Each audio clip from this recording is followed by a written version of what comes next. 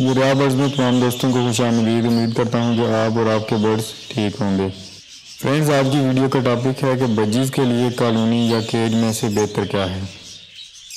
Video पर जाने से पहले आपसे रिक्वेस्ट है कि चैनल को सब्सक्राइब कर लें और बेल आइकन को भी प्रेस कर दें, ताकि आने वाली तमाम नई वीडियोज़ का नोटिफिकेशन आपको मिल सके। तो चलते हैं आज की वीडियो के टॉपिक की तरफ़। तो बजीज या ऑस्ट्रेलियन पैरट्स के लिए मेरे ख्याल से कॉलोनी लगाना या उनके लिए कानूनी बनाना ज़्यादा फ़ायदेमंद है। उसकी कुछ वजूहत हैं या कानूनी लगाने के जो फ़वाद हैं, वो मैं आपको बताता हूँ, जिससे आपको आइडिया हो जाएगा कि कानूनी लगाना ज़्यादा बेहतर है या फिर केजीज तो मेरे ख्याल से बर्ड अगर कॉलोनी में लगाए जाएँ तो वो ज़्यादा खुश रहते हैं।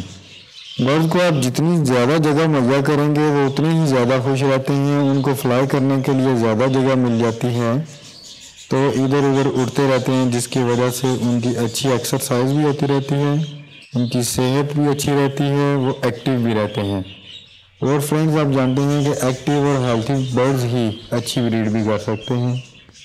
इसके अलावा कॉलोनी में जितने भी बर्ड्स होते हैं, उनको सांस का मसला कम होता है, क्योंकि उनका स्टेमिना बेहतर होता है, बाकी बर्ड्स की नस्बत। जो केजेस में लगाए गए होते हैं, उनकी नस्बत कॉलोनी के बर्ड्स का स्टेमिना बहुत बेहतर होता है। इसके बाद कॉलोनी का बड़ा फ़ायदा ये है कि बर्ड्स को चर्बी नहीं लगती। और आप जानते हैं कि अगर बर्ड्स को चर्बी लग जाए तो फीमेल एग लेंग नहीं कर सकती, अंडे नहीं देती।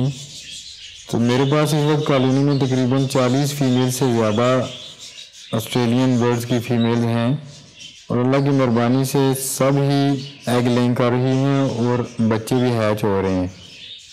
इसके बाद कॉलोनी बनाने का फ़ायदा ये है कि इसमें आपका एक्सपेंस खर्च केजीज के मुकाबले में कम होता है, जो कि न्यू फैंसियर्स के लिए और लो बजट वाले हजरात के लिए एक प्लस पॉइंट है। इसके अलावा कॉलोनी में जो पेयर्स होते हैं, वो जल्दी ब्रीड स्टार्ट कर लेते हैं। जबकि केजीज में जो पेयर आप लगाएँ, उनकी ब्रीड स्टार्ट लेट होती है। इसके अलावा कॉलोनी का सबसे बड़ा फ़ायदा ये है कि आपको रोज़ाना दाना पानी चेंज करने में बहुत थोड़ा टाइम लगता है। जैसे मेरे पास 40 पेज हैं और इन सबको अगर केजीज में रखें तो आप हिसाब लगा लें कि मुझे हर केज में दाना पानी तब्दील करने और सफ़ाई करने में कितना ज़्यादा वक्त दरकार होगा। मेरे ख्याल से कॉलोनी में दाना पानी तब्दील करने और सफ़ाई करने में इतना टाइम लगता है जितना टाइम सिर्फ़ जितने टाइम में सिर्फ़ दो से तीन के का दाना पानी चेंज किया जा सकता है।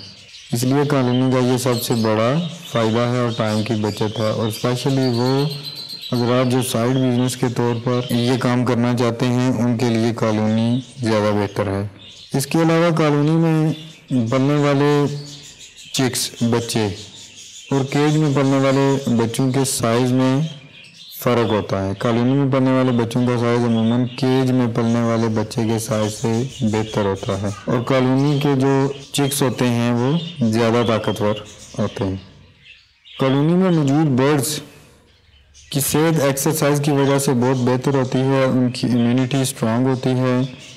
यानी बीमारियों के खिलाफ कुत मुदाफ़त ज़्यादा होती है और परिंदे बीमार बहुत कम होते हैं। और एक्टिव और हेल्थी बर्ड्स ही आपको अच्छी ब्रीड दे सकते हैं। उम्मीद करता हूँ कि आपको कानूनी के फ़ायदे अच्छे से समझ में आ गए होंगे। मिलते हैं फिर किसी नई वीडियो में, तब तक के लिए अल्लाह हाफिज़।